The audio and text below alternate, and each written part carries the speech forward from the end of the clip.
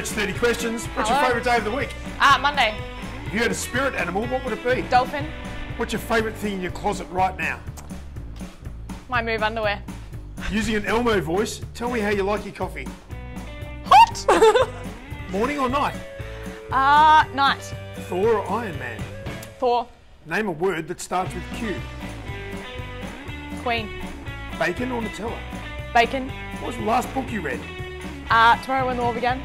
What do you think about when you're alone in the car? How I'm driving. What's your favourite movie ever? Uh, tomorrow when the war began. What is your biggest pet peeve? Pet peeve. Ellie Blackburn.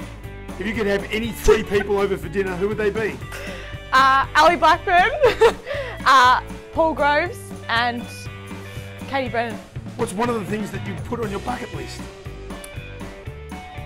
Swimming with dolphins. What's the last thing you liked on social media? Ellie Blackburn's post. On a scale of 1 to 10, how much do you enjoy garlic? Not very much.